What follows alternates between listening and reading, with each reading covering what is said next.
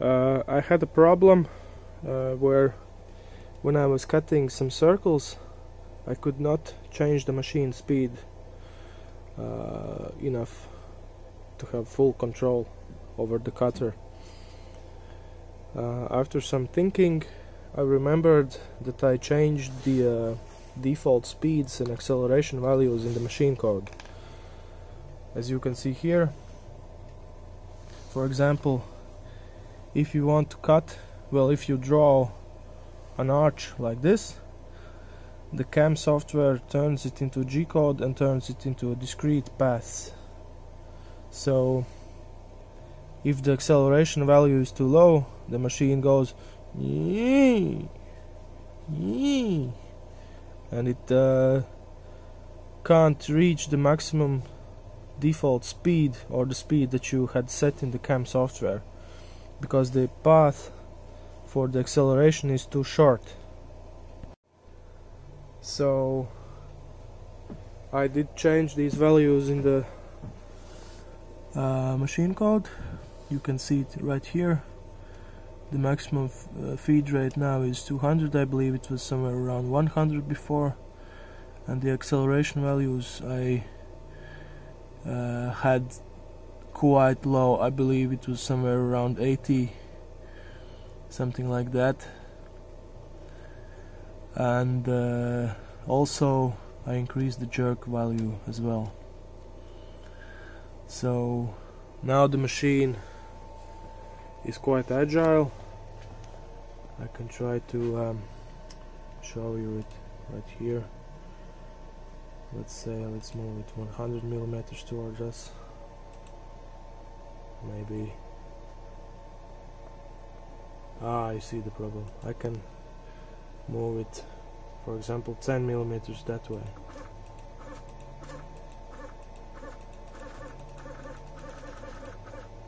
Let's say let's move it back.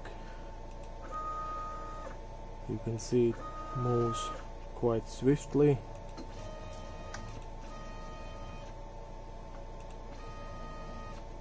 So the problem was solved right? Well not exactly.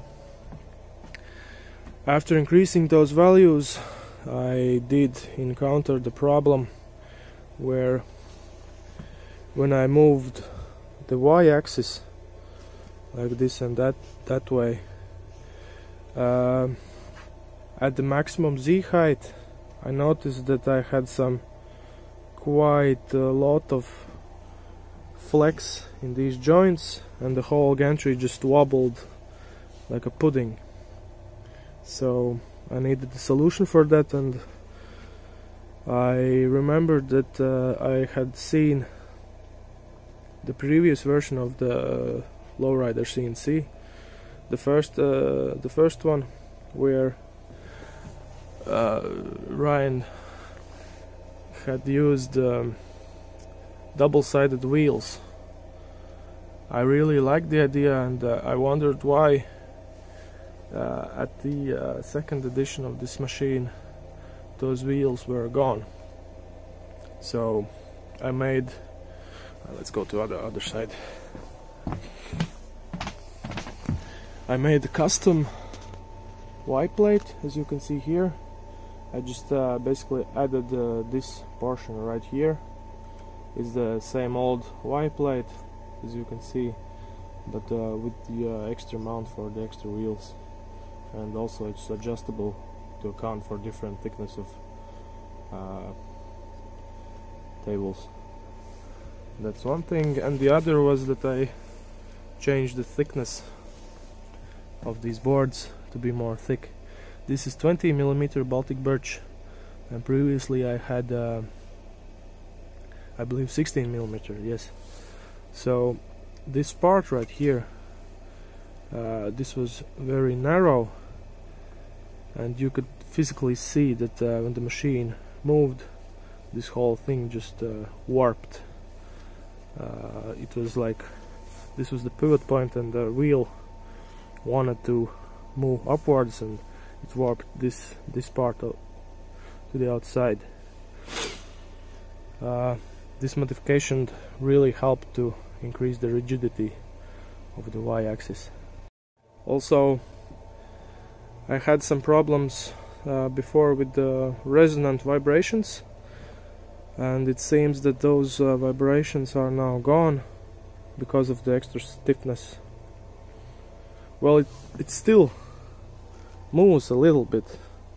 You can uh, you can't eliminate it at all in this design but it's much more rigid now.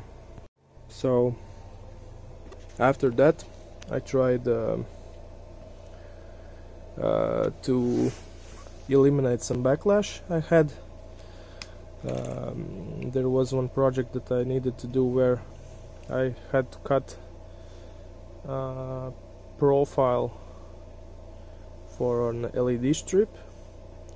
And it turned out that uh, one side was approximately 2 millimeters thinner than uh, the other side. And uh, I wanted to find the cause of it. Uh, well basically one of the causes was because of the um, uh, cutting strengths it just uh, moved the whole gantry and it uh, sort of like moved like this when cutting and it uh, resulted in some error in the y-axis. Uh, also these tubes flex a little bit and there's I believe nothing that I can do more about it because I added these tubes also. Um, you can see here some tests. This was uh, uh, 20 millimeters second and uh, 3 mil DOC uh, this was I believe 30 millimeters a second also 3 millimeters DOC and this was uh, 10 millimeters second 3 mil DOC so when you look closely on these uh, square middles you can see that uh, this part is wider than this part. And uh, this is consistent throughout all the samples. And I would say that even with the slower feed rate it's even more pronounced. So I tried another one. This was uh, 20 millimeters 1 millimeter DOC and uh, the results were much better. Uh, I later increased. Well, basically, this was made by uh, uh, zeroing out the cutter and then lifting it two mils.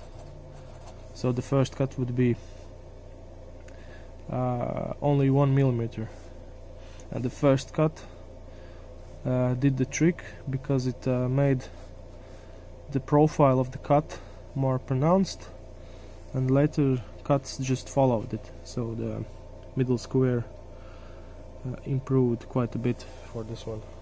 And uh, I had another unexpected problem where I had some friendly rodent visitors. I will show you the carnage. So I had some uh, cables that were uh, eaten by. You can see here are some marks. I fixed the um, most prominent failures. For example this cable was straight up cut off and uh, you can see here are some marks. Uh, now it's clean and everything but it was previously like after a bachelor party or something in here. I guess this is a nice place for the mice to uh, do their thing. Also they even uh, ate a part of my freaking mice I believe there's a pun somewhere in there but yeah. Also the small CNC had some bad luck but the damage on this one was not that bad. They just basically ate through the uh, protection sleeve so the lesson learned. I will definitely pay more attention to fight the friendly rodents that I have